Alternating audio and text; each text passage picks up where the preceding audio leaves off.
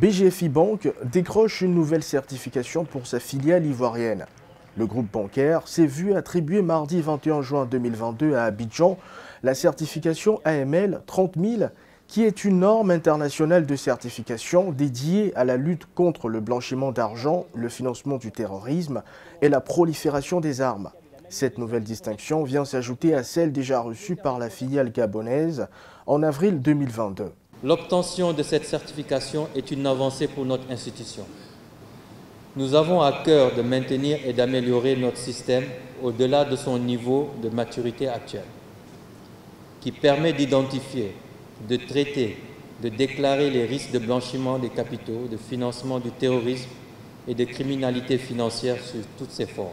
La certification délivrée par l'organisme indépendant international Cofficert démontre de l'engagement de la banque à garantir une meilleure transparence des transactions financières. Elle vient renforcer la confiance que la banque entretient avec ses clients et des correspondants.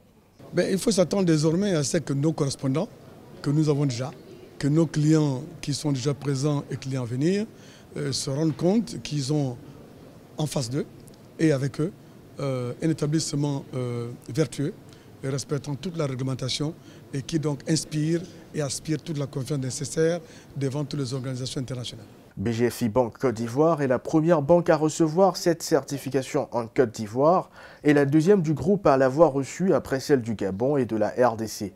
La banque est présente dans 12 pays en Afrique et en Europe.